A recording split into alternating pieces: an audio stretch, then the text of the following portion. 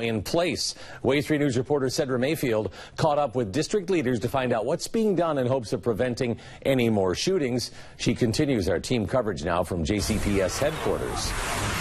Following the shooting Tuesday at Fern Creek Traditional High School, many of you wanted to know just how often students have carried guns into JCPS buildings. We went digging for those answers, and what we found may surprise you.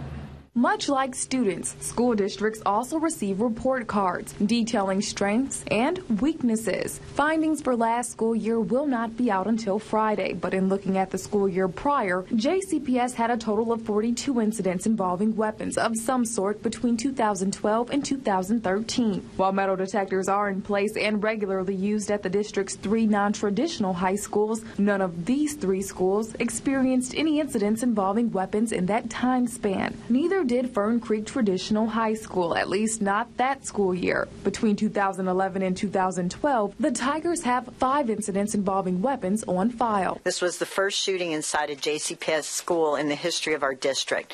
We hope this will be the last. But if metal detectors are not common in all JCPS schools, there's a lot of things that we can do between where we were yesterday and uh, going to metal detectors.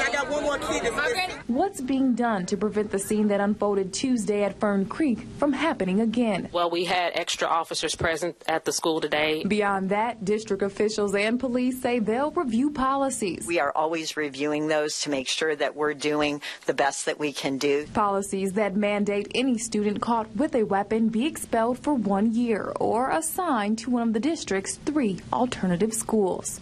JCPS's latest report card is expected out this Friday. You can expect updates at wave3.com. From the VanHoose Education Center, Cedra Mayfield, Wave 3 News.